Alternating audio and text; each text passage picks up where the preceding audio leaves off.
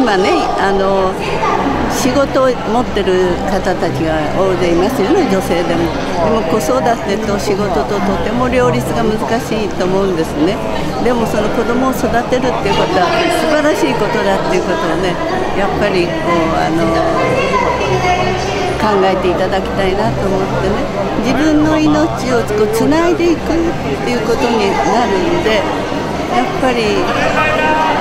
一度そういうことを考えて仕事も大事だけど子供も大切にっていうふうに美しい女性になってくださ